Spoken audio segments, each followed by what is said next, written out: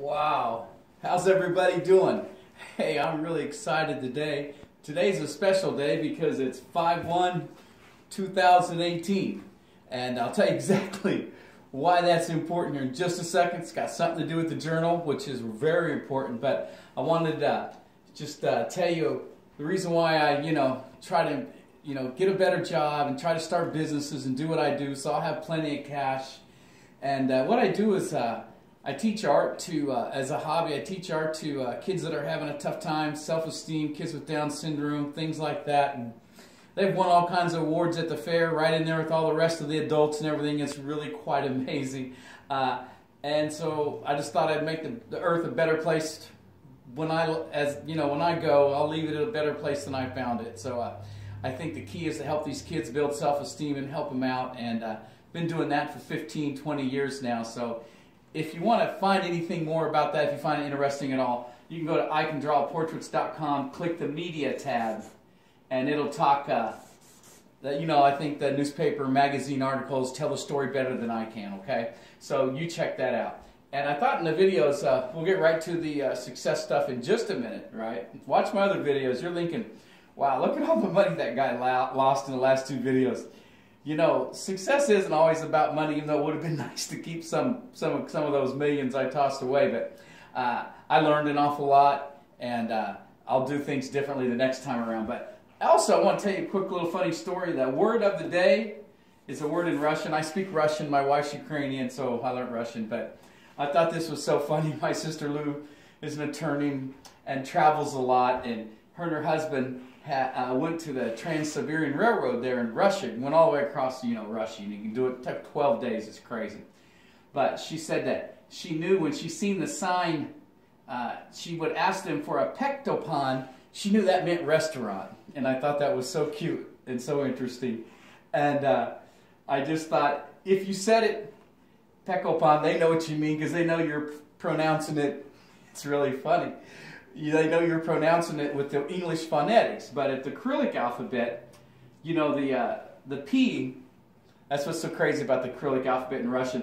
The P actually is pronounced with an R, R sound, or a R, you roll it. And the C is actually pronounced with the S sound. The E is E, it's okay. But the C in Russian is an S sound, like our word uh, city center, for instance. We use a S in certain words. You know, we say the C as an S, but it's never a cut. It's always S.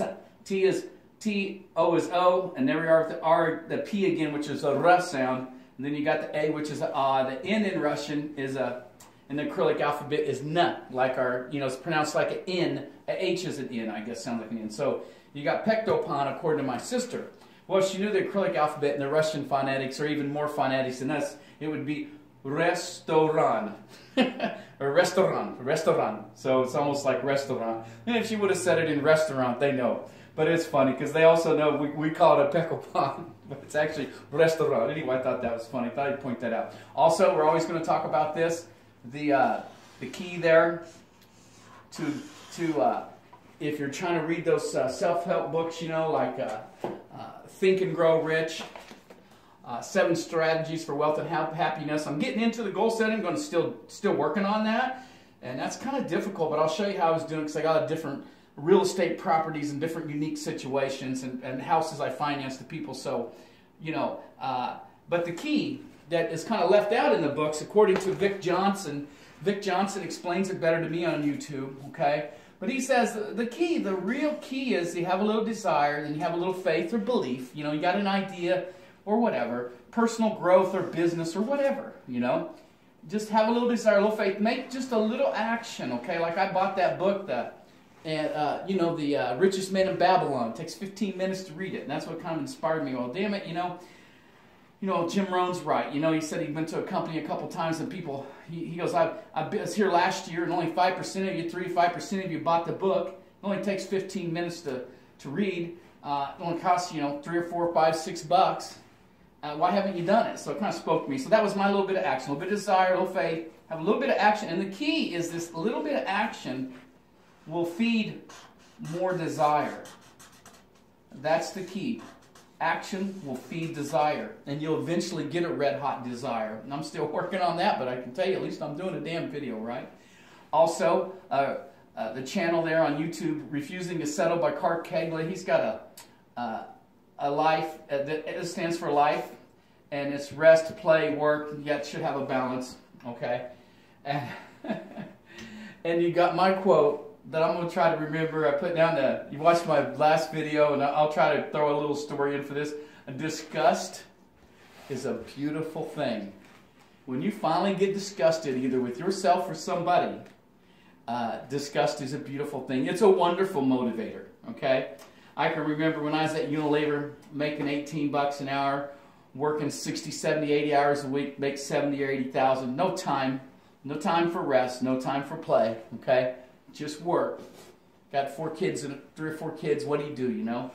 But uh, I know that those people, if you ever work for the Europeans away, they want to run a company, not an American company that they bought, like when InBev bought Budweiser. I call those poor people. They go in there and just start laying off by the thousands. Engineers, management, man, they just like a, they just having a layoff party and cost cutting party. They just hate the way we do business because it ain't. I'll tell you what. If you work for a European company, the only good one I heard the people talk good about was uh, IKEA. But Unilever, I know for seven hard years in the trenches, is that all they're trying to do in their manufacturing facilities is all you are, there's not one employee in that building, trust me, is an asset. All you are is a piece of shit liability. I just can't put it any other way. You're just a piece of shit liability they're either trying to downsize, eliminate, or get rid of. If you owned the shirt off your back when you balanced your assets and liabilities after working for a Unilever manufacturing plant for 30 years, I knew a Teamster worked there after 30 years, all he had left, no matching 401ks, no sick pays, no nothing. The only Unilever, only Unilever companies have that as companies they bought in the USA and they, they just have to deal with it. But they do it their way, you won't have nothing. But anyway, poor guy worked there 30 years, his retirement was $686, you know. But uh, if all you owned was the shirt off your back, after when you retired, if you still owned your shirt after you added up your assets and liabilities and, and your bank account and everything, and all you had owned was a little t-shirt on your back, you would have been a piece of shit that stole from them. This goddamn thing.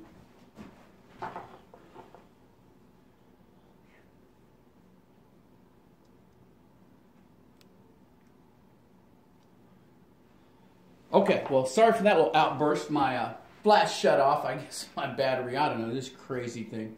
Anyway, but if all you owned was the shirt on your back, when you retired, you were a piece of shit that stole from them. That's the bottom line. That's how they treat you. So, you know, that'll disgust you if you work there and you're trapped there and you actually don't quite have a, all your high school diploma. Makes you go to school at night, makes you go take classes. You know, now I got a job to where I make, you know, 46 bucks an hour and I went to school and I got a tutor and I bettered myself and now I have a good job and 401ks and all that good stuff. But if I hadn't got disgusted at them people, it would have never happened. But anyway, I just thought I'd uh, throw that all in there. Sorry. Uh, back to the journal. What is today?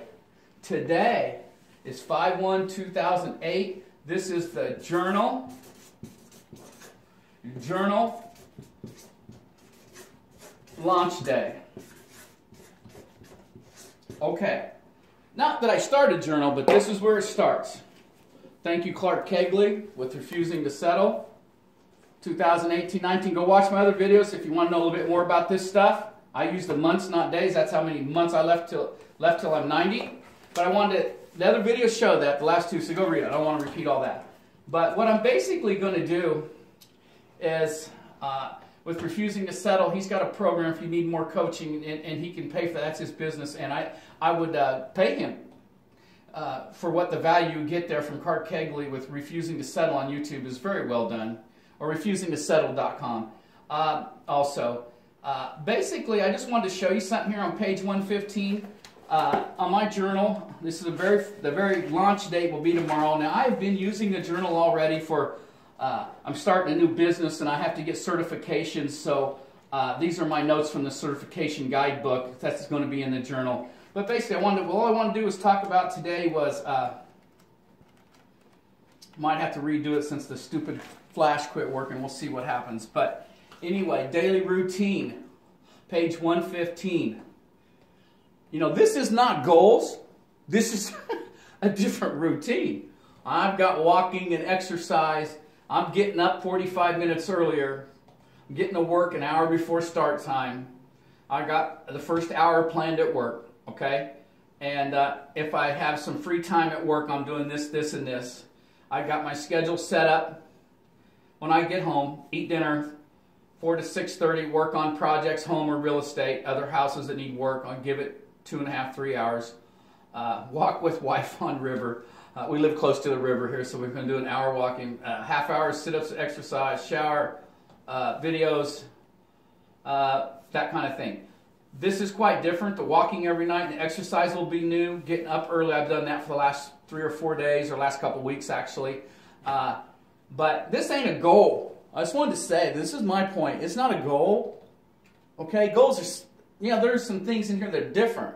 But you need to set up a daily routine and stick to it, and I'm going to make myself stick to it. And then I'm going to start uh, working on my goals tomorrow and try to lay that out for real estate and how I'm going to try to, you know, set up each property for what they need to be done and start setting up, plan each day the day before, and I'm going to start that tomorrow. But anyway, get you a daily routine set up, go to work a little early, do some reading. I'm doing my reading at work uh, on my books, you know, the books and building my library. But anyway, have a have a nice day. Thanks so much for your time. Go check out ICanDrawPortraits.com if you want. There's nothing for sale there. I'm not trying to sell you nothing. Just trying to tell you my journey, my story. Uh, it's an interesting one for sure. But uh, go to ICanDrawPortraits.com. Click on the media tabs. If you got anything to add on how to work with kids and stuff, you'd just be amazed. I've been teaching them art and, you know, I've in the beginning, I wasn't that good, but I'm expert level at it now. It's kind of a neat story. But anyway, check it out. Have a nice night. Thank you much for your time.